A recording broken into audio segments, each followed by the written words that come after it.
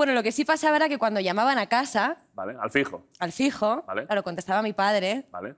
Mi padre. Muy buena voz tiene tu padre, ¿eh? Claro. Doblador Pues increíble. imagínate quién eres. Entonces alguna vez me decían, oye, ¿qué le pasa ¿Quién a tu padre conmigo? Romero ¿sabes? o algo así? Tu padre está cabreado conmigo. Estaría, ¿qué? Yo soy tu padre. Claro, no se atrevían a llamar. ¿Por qué me ha cogido el teléfono Bruce Willis, no? Es, es esto, ¿no? Samuel L. Jackson. Bueno, ya No me jodas. ¿En serio? Sí. ¿Tu padre es Samuel L. Jackson? Joder, pues sí, sí que ha salido rubia tú, ¿Has ¿eh? visto?